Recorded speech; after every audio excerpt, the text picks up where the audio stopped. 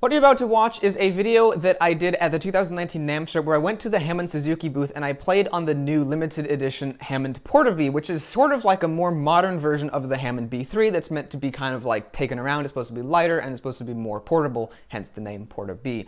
So when I first sat down on it, I actually kind of liked it. I thought it was kind of cool, but the more and more I played on it, the less and less I liked it. I kept finding all these flaws. I disliked the sound with it. I found lots of things that I just, just simply didn't like about it. And the funny thing is, as I'm playing it, you will hear the recorder uh, peaking a little bit because I didn't really have a whole lot of time to set up the sound right.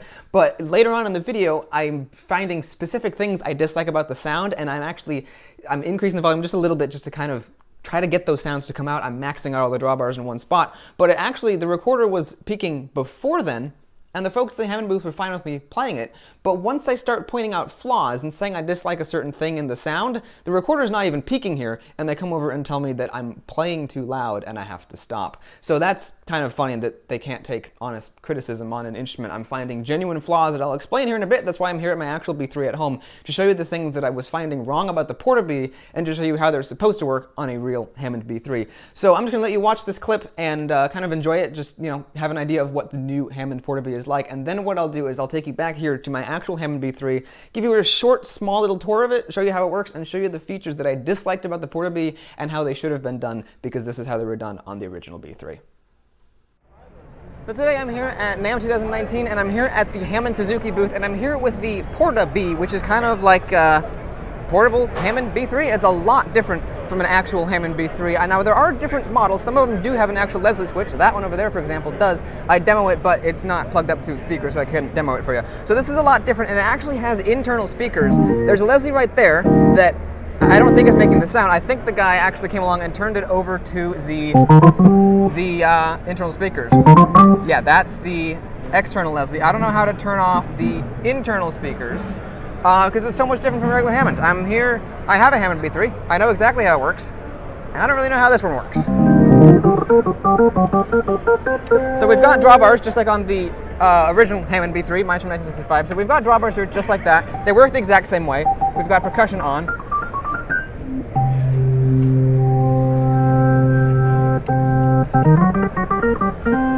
So that's how that's working. We also have because there's internal speakers, we don't really have. Okay, we have a Leslie sound. So we've got Leslie sound. I, I don't really know what's going on here. I don't know if like the the Leslie is spinning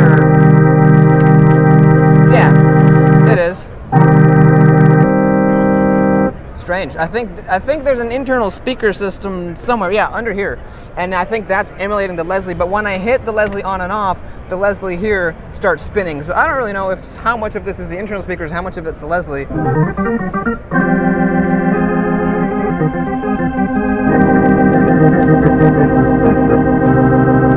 The sound is actually pretty close to what a actual Hammond B3 is, and I'd say that for a now the term that people like to use for electronic uh, organs imitating a Hammond is that I like to call them clone wheels because the original Hammond B3 had tone wheels, and so anything that is a Hammond B3 type of instrument but doesn't have tone wheels is a clone wheel. And so while this is a Hammond branded instrument, I'd say it's definitely the best clone wheel organ out there, but really what really matches the magic, the true magic of a real Hammond B3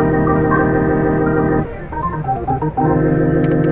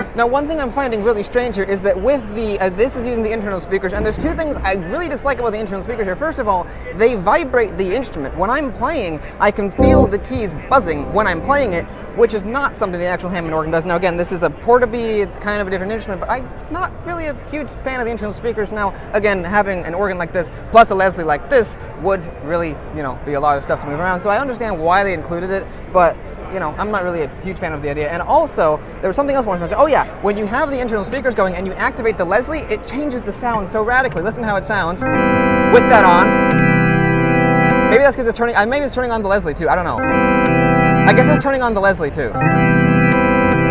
And the internal speakers versus the Leslie have a much different sound. Maybe that's what's going on. Now, I don't know why they don't have a Leslie switch on the Porta B like a normal Hammond does.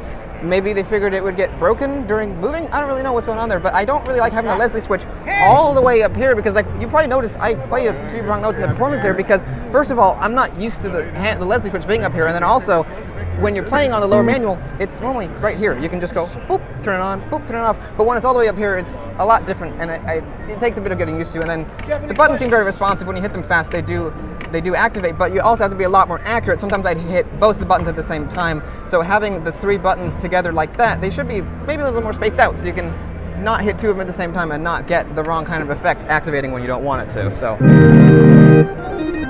and then also, where's the high end here?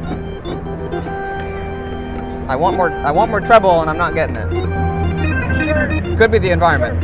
So you know, you gotta keep the volumes down. Okay. So here we are back at home with my actual 1965 Hammond B3. So what I want to do is take you on a brief tour of the instrument and show you kind of how everything works and how everything is laid out. And then I wanted to play the same couple of little pieces that I played on the Porta B at NAMM on my Hammond B3 to kind of show you how an actual B3 is supposed to sound. Now, one thing I want to note here is that I could make this B3 sound a whole lot better if I used the same recording setup that I usually use here at home. But what I want to do is I really want to give as fair, fair as fair as fair of a comparison as possible here with the Porta B versus the Hammond B3. So I'm going to be using the same exact recording setup that I used at NAMM with my actual Hammond B3 just to kind of uh, make it make the environments as close as possible as I can to kind of give as good of an example and a comparison that I can with these instruments. Now before I actually get around to playing stuff, I wanted to mention one more thing and that is the pricing of the Hammond Porta B. When I bought this Hammond B3, which is from 1965, I paid $8,000 for it, and what I got was the Hammond B3, of course, which is the organ that you see here with the legs and all that. I also came with the pedal board, which of course is down here. That came with the organ. It also came with the matching bench here that has storage inside, which is great. And it also came with the matching Leslie, also from 1965. So for $8,000, you get everything you see here. And it helps that this is one this one was in pristine condition. I looked for about two years to find one that is in really pristine condition and also a good deal and a perfectly working organ. But for a bit less, you can find an organ that probably would work perfectly, but maybe would have some nicks and scratches in, or it wouldn't be this really cool orangey cherry wood color. But you could find a working Hammond B3 for $8,000 or less, and that would be an actual tone wheel organ. Now for $6,000, you can buy the Hammond Porta B clone wheel, and with $6,000, all you get is the organ. You don't get the stand, that's optional. You don't get pedal board, that's optional. I don't think it comes with a bench. And you don't come it doesn't come with the Leslie. It does have internal speakers, but they're pretty trash, so don't even bother using those. So for $6,000, you literally just have an organ. But for probably about the same price, you could probably pick up a vintage uh, Hammond B3 that comes with the Leslie, probably comes with the bench, and most likely will come with the pedal board because who takes the pedal board off of a Hammond B3? It comes with it, you always leave it there. So I just wanted to mention the pricing on that too. The, the Hammond b really isn't that great of a deal. And if you really want that Hammond sound, just buy an actual Hammond B3. Take some time, do some research, figure out what year you want, what model you want, and buy an actual Hammond B3. It's a really fantastic instrument, and by now you're probably wondering what makes it fantastic, so I'm going to just show you briefly the layout of all the controls here, and then also going to give you a little bit of a sound test. I'm to play that Bach piece that I honestly really botched at the NAMM show. I was totally distracted by where all the speed switches and stuff were and where everything was and trying to get the sound right that I honestly, I'll admit, I completely screwed up the Bach piece. So I'm going to play it right here in this video on this uh, instrument and show you guys how it's actually supposed to sound. So the way this instrument works basically is there's three switches up here. Uh, you might not be able to see them, but they're these big fat paddle switches. They're about this big, I guess paddle switches is the right word to use. They're like on and off. There's they're like the wall switch that you have in the light that you flip the opposite end up and down. They're basically that same system. You can see them over here. They're the same style over here, and they're just a big fat switch you can slap the end of and flip it in the opposite direction. It's not a small button about this big. It's a big pad about this big that you flip one end of, and it's really obvious if it's on or off. So that's one nice thing. There's a volume switch over here. There's a vibrato swell and a vibrato great. So there's the three controls over there. There's a knob that you use to, to change the vibrato and then you have your five sets of drawbars. You have the two for the upper manual, you have the two for the lower manual, and then you have the one for the pedal. That I think was all about the same in the Hammond B and the Hammond Porta B. They had a different feel. They were a little bit different. And I think the knobs were a slightly different shape at the end too, but they were basically all laid out the same. Then over here you have your percussion controls. There's one that turns the percussion on and off, and then there's also one that is the percussion volume, percussion delay, and the percussion harmonic selector. So that's whether it's playing the second harmonic or the third harmonic. And again, these are really big, huge I'm going to call them paddle switches. I think there's a proper name for them, but I'm forgetting what it is at the moment. They're these big, obvious, huge paddle switches. You flip one end, and it goes, and they also have a really great feel and sound to them, which I just want to mention as well, but that's kind of irrelevant. But they're big, obvious switches that are really easy to target, and there's a lot of space in between them, so if you're playing the instrument and you want to activate something, you're done and it's really, really easy to do. And it's, it's a lot bigger. You just kind of slap your hand down on it and it'll basically flip in the other direction. It's not a small little button you have to target and make sure you have to put. I do want to mention though that those buttons were really responsive on the Porta B, so that's one good thing. It's not that you're going to tap the button and it's not going to go. You just have to make sure that you do actually tap the button, which is kind of annoying. And on the note of the buttons, why is the Leslie speed switch not here? It's so much more natural. It's what everybody's used to on a Hammond B3 and it makes so much more sense when you're playing it. Instead of having to target a small little button that was somewhere up in this area on the Porta B, it's just a switch right here. You flip it and it's on, and then you to flip it off, you just kind of move your hand over there and it's off. And it's so easy to get to. It's so much closer to your left hand. Uh, you might have noticed, I forget if I moved, I think I moved my left hand up to get to it. It was all the way up here. Why, Hammond? Why was it all the way up here?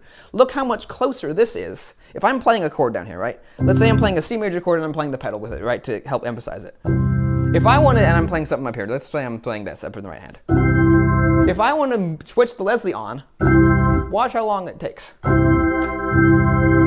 That's how long it takes. Not that long at all. I can just take my hand and move it and turn it on and turn it off. On, off. It's so natural and it's so easy. It makes so much sense to have it here, a big manual switch you can hook your finger around and hook your thumb around and push it away from you. A small button just really makes no sense. That's one of the things I really had a big complaint with the Hammond Porta B, was that little button. That's really what messed me up when I was playing that Bach piece. Because first of all, I'm playing the piece, and ahead of time, I'm like, okay, I want to change the Leslie speed. Where's the switch? It's not here. It's somewhere else. So I'm looking for it, and then there's three buttons there, one to make it slow, one to make it fast, one to make it completely stop. And I have to figure out which one I want, whether or not it's already on, and then I have to move my hand all the way up here, find it, hit it, and then get my hand back in position. It was just honestly really not great design. I don't know why they didn't go with this. My main theory is that since it's a Porta B and it's made to be moved around, they didn't want this there because it could get broken off in transit. But honestly, this design here is really sturdy. There's just like a couple of screws that bolted into the piece of wood under here. It's really sturdy. It's made of high quality plastic. High quality plastic still exists today. It's a little harder to find, but it still exists. So they could just do something like this and make it a, a replaceable piece you can buy on a website. So if it does get broken off and they can design it so that it just plugs in right under here, It'd be so easy. It'd be so easy to do. So I don't know why they didn't why they didn't go with the Leslie switch. It just makes more sense. Now, one other thing, one other complaint I had with the Porta B, and I swear after this I'll get around to playing the instrument now. One other complaint I had with the Porta B was that when I was playing it at the end, when they told me to, to go away and not have the volume up so loud, was that I wasn't getting any high uh, any of the high harmonics to come through on the instrument. I was playing up here, I was I wanted the melody line to sing out, and it wasn't singing out, mostly because of the room of the environment. So I was turning up all of the the high drawbars, and I was doing it on all of them because I wasn't exactly sure what preset I was set to or anything, and it wasn't doing anything. It wasn't making the high harmonics sing out. I had everything maxed out, and I still couldn't get the highest harmonics of the drawbars to work. If you aren't familiar with how those work, basically each each drawbar controls a specific harmonic. So if I go through here.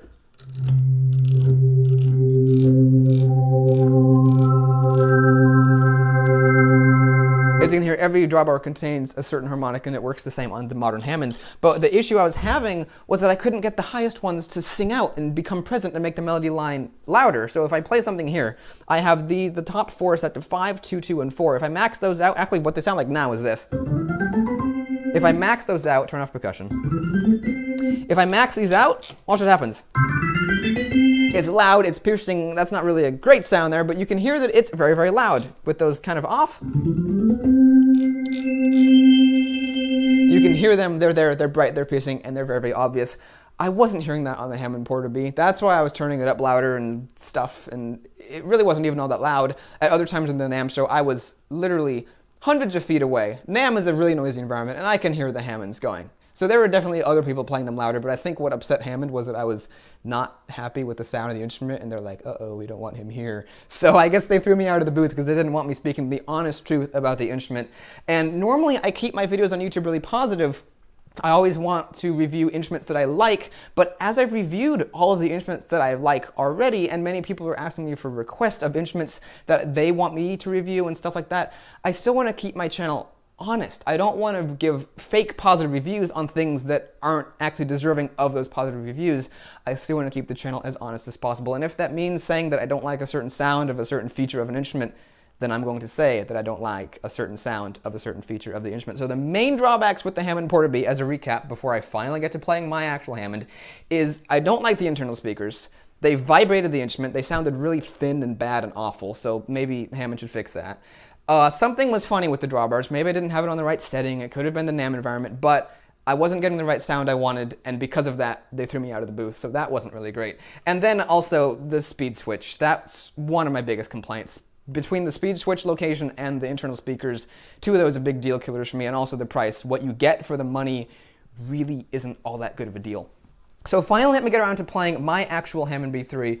And what I'm going to do is I'm going to play that Bach piece that I played on the Hammond Porta B on my Hammond B3, again using the exact same setup that I used at NAMM, but this time on my actual instrument. And hopefully you guys can get a kind of a basic idea of what this instrument sounds like. I've got lots of other videos of this Hammond B3 recorded in a different way, so it sounds even better than it will here. And I recorded Christmas music around Christmas time, and that all sounded awesome. And I also did a cover of The House of the Rising Sun on this, which if you want to go check that out, there will be a link to that in the description of this video and a few of the other videos as well. So hopefully you guys enjoy hearing the Bach hymn, which is called We Pray Now to the Holy Spirit, played on the Hammond B3.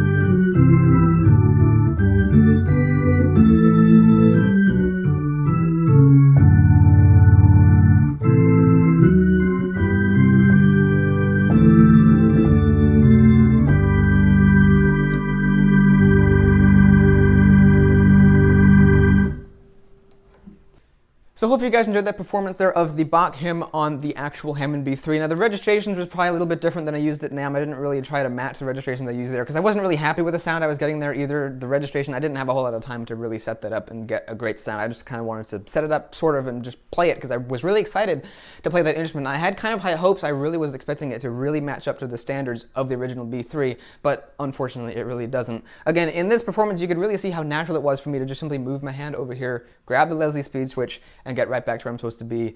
That was that's one of my biggest complaints. Hammond bring back the Leslie speed switch. I know it's on some of their other models like the XK5 or whatever it is, the one that's add this actually got wood trim and hopefully comes with pedals and a bench and stuff.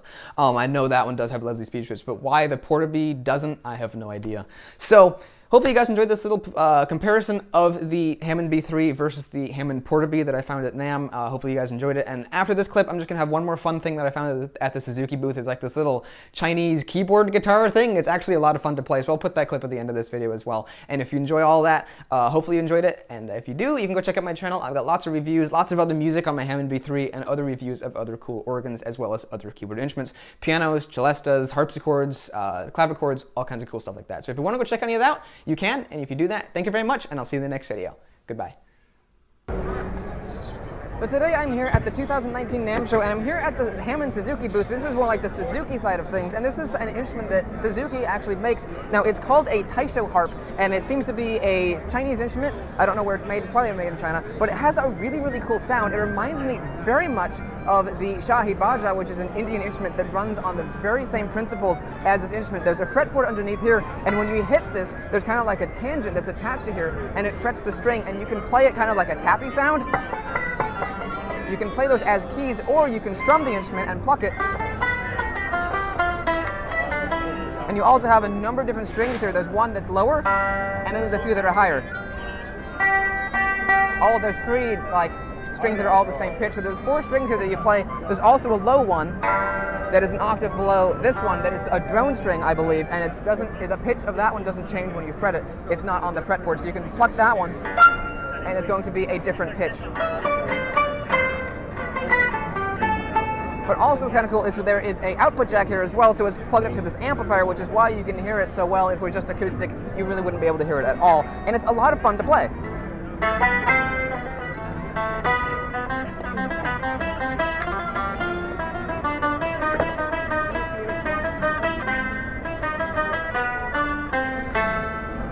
So basically, it's arranged like a piano. As you can see, you have black keys and white keys here, and they're arranged just like a piano. Basically, because of the way the fretboard has to be, they have to be spaced out differently, so that's why the ones down here are so far apart, and the ones up here are really close together.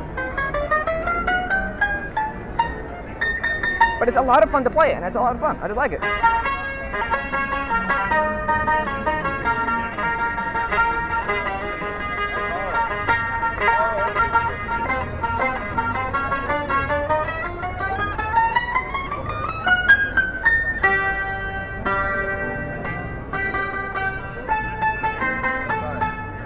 Basically, the same number is the same note. So one and one are the same note. That would be C. And then two and two are going to be the same note. Three and three are the same note. Four and four. Five and five. And then six and six. So it's a little bit different than a piano, and I've, i was stretching for an octave there, because this is about the stretch of an octave on a piano, but on this instrument, because the frets are different spaces, that's not an octave. So that's something kind of fun.